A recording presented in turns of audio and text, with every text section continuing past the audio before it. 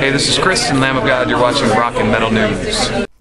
Hey guys, this is Ron from YouTube's Rock and Metal News with the Rock and Metal News update. Some big concert announcements uh, were set today. Uh, first off, Faith No More are set to release their new single on March the 17th called Superhero. A limited edition 7 inch is out on the 17th of March, and a digital single is out on March 31st.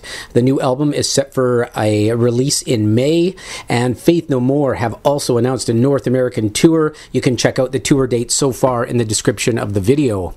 And Slipknot have announced the this summer's The Last Stand tour, and touring with them are Lamb of God, Bullet for My Valentine, and Motionless in White.